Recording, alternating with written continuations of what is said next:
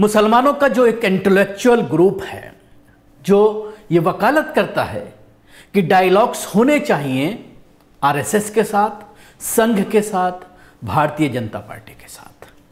और इस पर उन लोगों के ज़रिए कई पहल भी की गई हैं, कई राउंड मुलाकात हुई है। और उसके बाद जो ये इंटेलेक्चुअल्स का ये ग्रुप है, इन्होंने जमियतुलमा हिंद को भी, दोनों ग्रुप के जमियतुलमा हिंद के, मौलाना अरशद मदनी, मौलाना महमूद मदनी और देश की एक और बड़ी मुस्लिम जमात जमात इस्लामी हिंद को भी अपने इस ट्रैप में फंसा लिया और इन लोगों ने पिछले दिनों मुलाकात की। लेकिन अभी एक लेटर सामने आया है, जो दो दिन पहले ही आरएसएस के चीफ मोहन भागवत को इस ग्रुप के ज़रिए लिखा गया है, जिससे यह बात ज़ाहिर हो रही है कि अब इस ग्रुप की हवा निकल गई है। जो बार बार ये ढोल बजा रहे थे कि ए, हमारी मुसलमानों की संघ के लीडरों के साथ बातचीत होना बहुत ज़रूरी है। इससे बहुत सारे मसले हल हो सकते हैं। मुसलमानों के ऊपर जो बढ़ती हुई घृणा है, जो लिंचिंग के वाकयात हो रहे हैं, गाय के नाम पर जो लिंचिंग की जा रही है मुसलमानों की, इसके साथ साथ जो हेट स्पीच का एक और चलन चल पड़ा है, इसमें कमी आएगी। इन लोगों ने मुलाकात की। मुलाकात में अपने सारे इश्यूज़ मोहन भागवत के सामने रखे, लेकिन कोई हल निकल कर नहीं सामने आया। तो इसी चीज़ को लेकर के यह लेटर लिखा गया है और अब इस ग्रुप में भी दो फाड़ होते हुए नज़र आ रहे हैं। कुछ लोग ये चाहते हैं कि इस संवाद को जारी रखा जाए, जबकि कुछ लोग ये कह रहे हैं कि ये इसका कोई हल नहीं है, ये कोई मसले का हल नहीं है, इसका कोई नतीजा नहीं है।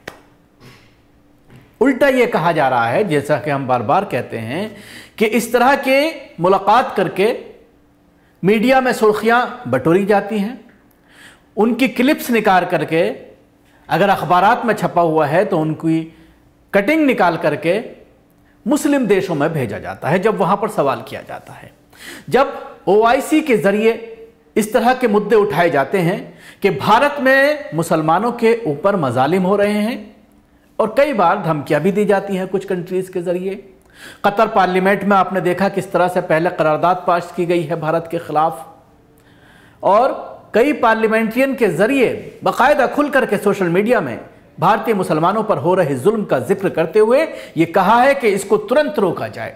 लेकिन जब इस तरह की चीज़ें ज़्यादा सुर्खियों में आती हैं ज़्यादा सोशल मीडिया में ये सारी बातें आती हैं तो उसके बाद ये गैंग पूरी तरह से सक्रिय हो जाता है, आरएसएस की तरफ़ से बुलावा आता है, ये लोग पहुँचते हैं, नाश्ता करते हैं, बातचीत करते हैं, और उसके बाद अपना एक फ़ोटो देकर चले आते हैं, ताकि उसको इंटरनेशनल मीडिया में संघ और आरएसएस और बीजेपी इस्तेमाल करें। यही होता चला आ रहा है। और जो इस ग्रुप में जो लोग हैं उनके ऊपर भी अगर आप निगाह डालें तो उसमें से ज़्यादातर ऐसे हैं जिनके ऊपर कई बार सवालात खड़े होते हैं। जिनके ऊपर ये सवालात खड़े होते हैं कि ये लोग कभी एक जगह पर नहीं टिके। इस ग्रुप में एस वाई कुरैशी, पूर्व इलेक्शन कमिश्नर, सईद शेरवानी शाहिद सिद्दीकी बड़े जर्नलिस्ट हैं और उसके साथ ही समाजवादी पार्टी से राज्यसभा में भी रहे हैं, नजीब जंग जाम मिलिया इस्लामिया के वाइस चांसलर, दिल्ली में एलजी रहे हैं। ये तमाम लोग हैं, ये तमाम लोगों का ग्रुप है, जो इस तरह का एक इंटेलेक्चुअल ग्रुप बना करके ये बताने की कोशिश करता है कि हम मुसलमानों के सर्वे सर्वा हैं, हम इंटेलेक्चुअल्स हैं, और उसके बाद इसी के नाम पर ये लोग मोहन भागवत से मुलाकात करते हैं। लेकिन इस ख़त में ये लिखा गया है कि कई राउंड आपसे मुलाकात होने के बाद हमें मायूसी हाथ लगी है। अभी जिस तरह से हेट स्पीच के वाक़ात में काफ़ी बढ़ोतरी हुई है। मुंबई में आपने देखा, महाराष्ट्र में जिस तरह से देखने में आया, उसके अलावा छत्तीसगढ़ में दर्जनों इस तरह के केस सामने आए हैं कि हिंदूवादी संगठनों के ज़रिए कर्नाटक में लगातार सामने आ रहे हैं। मध्य प्रदेश में, उत्तर प्रदेश में कई जगह पर इस तरह की चीज़ें सामने आ रही हैं। न सिर्फ़ हेट स्पीच, बल्कि मुसलमानों के खिलाफ बढ़ते हुए क्राइम। अभी आप हरियाणा और राजस्थान में आपने पूरा मामला देखा किस तरह से दो मुस्लिम नौजवानों को सरेआम जला दिया गया, ज़िंदा जला दिया गया। आज तक उनके आरोपियों को गिरफ़्तार नहीं किया गया है। उनके आरोपियों को आज तक पुलिस अरेस्ट नहीं कर पाई है। मनु मारे सर खुलेआम घूम रहा है। ये तमाम चीज़ें ऐसी हैं जो कहीं ना कहीं, जो बात मोहन भागवत अक्सर इनसे मुलाकात करने के बाद कहते हैं कि आपस में संवाद होना चाहिए और लिंचिंग पर रोक लगनी चाहिए। लेकिन उस चीज़ को ग्राउंड में ना तो उनके कार्यकर्ता उस पर अमल करते हुए नज़र आते हैं, ना ही जहाँ पर भारतीय जनता पार्टी की सरकारें हैं, वहाँ पर पुलिस प्रशासन या नेता, मंत्री और उसके साथ ही वहाँ के वज़ीर आला, मुख्यमंत्री, कोई ऐसा एक्शन लेते हुए नज़र नहीं आते जिससे ये साबित होता हो कि ये वाकई में इस मामले को लेकर सीरियस हैं और ये वाकई ये चाहते हैं कि मुसलमानों के खिलाफ जो हेट स्पीच चल रही है, उस पर अंकुश लगाया जा सके, उस पर पाबंदी लगाई जा सके, या जो मुसलमानों की लिंचिंग हो रही है, जानबूझ करके मुसलमानों के ऊपर आरोप लगा करके जिस तरह से उनको सरेआम मारा जा रहा है, जलाया जा रहा है, उस पर कोई बात इनके ज़रिए नहीं कही जाती। और यही वजह है कि आजकल सोशल मीडिया की ताकत बहुत ज़बरदस्त हो गई है।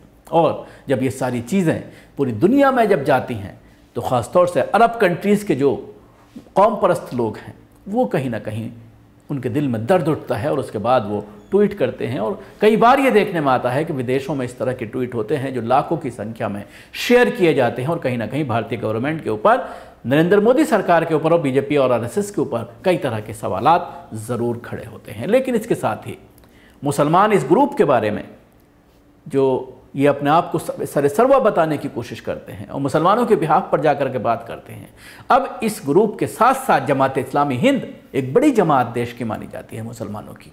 और एक बड़ा ग्रुप है जो इस जमात से ताल्लुक़ रखता है और वो ये मानता है कि सबसे आगे अगर मजालिम के ख़िलाफ़ कोई आवाज़ उठाता है तो वो देश की ये एक बड़ी जमात है। इसके अलावा जमतुलमा हिंद भी मुसलमानों के ऊपर हो रहे मजालिम को लेकर के आगे आती है और जिस तरह से आप देखते हैं कि जो बेगुनाह मुसलमान हैं, उनकी लड़ाई भी जमतुलमा हिंद हमेशा लड़ती चली आ रही है और जिसके नतीजे में ये देखने में आता है कि दर्जनों लोग सलाखों के बाहर आए हैं। वो लोग जिनके पास मुकदमात लड़ने के लिए पैसा नहीं है, जिनके पास कोर्ट और वकीलों की फ़ीस देने के लिए पैसा नहीं है, उनकी पैरवी जमतुलमा हिंद के ज़रिए की जाती है। वो अलग बात है कि उसके नाम पर चंदा भी इकट्ठा किया जाता है, लेकिन कहीं ना कहीं काम तो हो रहा है।